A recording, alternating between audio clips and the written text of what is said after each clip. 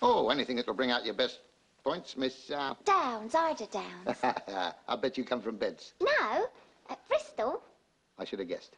Oh, I've got a rather smashing two-piece swimsuit. Great. Just wear one piece of that. Will they publish pictures like that? Oh, uh, not in my paper. It's all right, darling. I was only joking. You go and get them both on. go on. Sit your gear.